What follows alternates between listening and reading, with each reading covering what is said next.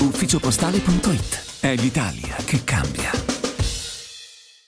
Cambio della guardia per la ricostruzione post-sisma. La Presidente del Consiglio Giorgia Meloni ha firmato lo scorso 30 dicembre il DPCM per la nomina del senatore di Fratelli d'Italia Guido Castelli come nuovo commissario.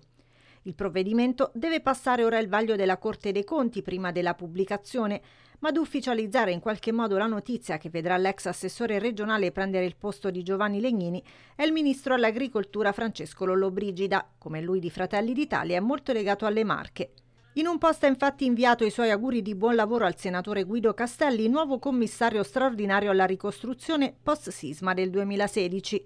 Un compito di rilievo si legge ancora nel suo post, ma soprattutto di grande responsabilità, che siamo sicuri saprà assolvere con serietà, competenza e spirito di servizio, conoscendo in profondità proprio uno dei territori maggiormente colpiti dal terremoto del centro Italia. Castelli era sindaco di Ascoli Piceno proprio nel 2016 e da ultimo ha ricoperto l'incarico di assessore regionale alla ricostruzione. Una notizia straordinaria per le Marche e tutto il centro Italia, dichiara invece la senatrice Elena Leonardi, anche lei di Fratelli d'Italia, che ringrazia il Premier Giorgia Meloni per aver dimostrato ancora una volta una particolare attenzione verso la regione Marche.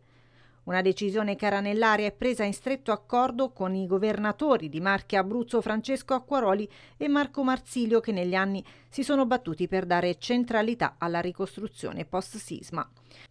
Di certo una buona notizia specie per il cratere Piceno che Castelli conosce molto da vicino, tanto che il sindaco di Acquasanta Terme Sante Stangoni, nonostante di area PD, si complimenta con il futuro commissario. Quindi faccio un in bocca al lupo all'onorevole Castelli per questo nuovo ruolo e spero ecco, che ci sia una continuità e soprattutto sempre più un'accelerazione verso il ripristino dei fabbricati e diciamo, della vita quotidiana di questi luoghi, nonché anche eh, sapere a breve anche gli esiti di tutti i bandi che sono stati comunque sia presentati per capire effettivamente poi le potenzialità dei nostri territori.